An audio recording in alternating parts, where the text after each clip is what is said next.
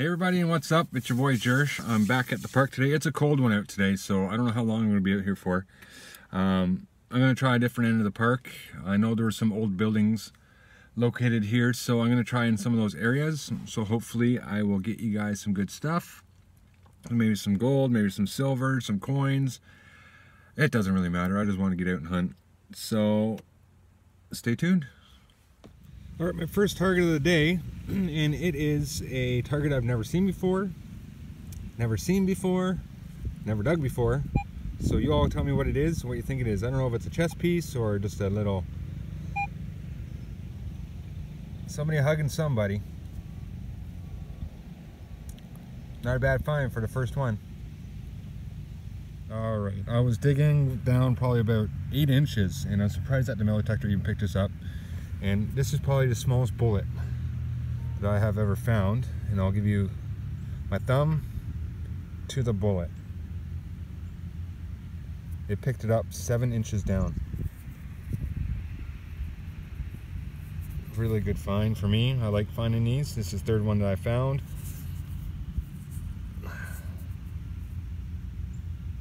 Not bad, guys. Not bad at all. All right, another one that's about seven inches down. I love finding these. It's a beautiful 1941 nickel.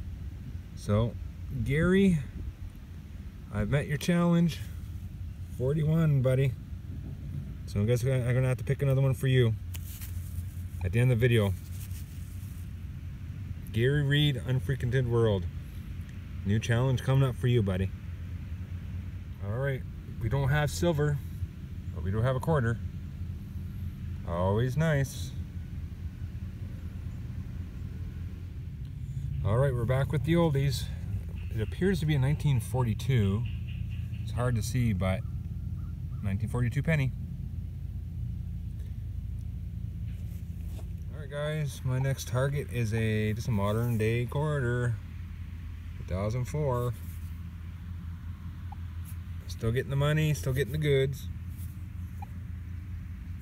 Oh, the hunt wouldn't be a hunt if I didn't find a loonie. Seems like almost every time we find loonies. I'll take it.